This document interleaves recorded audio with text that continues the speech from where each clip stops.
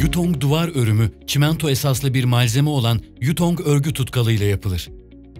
Örgü tutkalı duvar uygulamasına başlamadan önce hazırlanır. Temiz bir kap içerisine önce 8,5 litre su konur.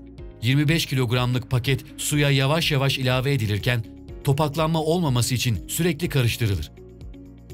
5 dakika bekletilen karışım kullanım için hazırdır. Örgü tutkalının ihtiyaca göre partiler halinde hazırlanması gerektiği unutulmamalıdır.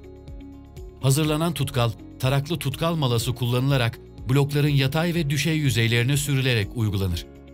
Tutkalın kıvamı mala çekildiğinde diş izleri kapanmadan kalacak şekilde olmalıdır. Bloklar örüldükten sonra oluşan yatay ve düşey ders kalınlığı 2-3 mm olmalıdır. Hazırlanan örgü tutkalı 4 saat süre içerisinde işlenebilir örgü tutkalı uygulandıktan yaklaşık 8 saat sonra sertleşmesini tamamlar.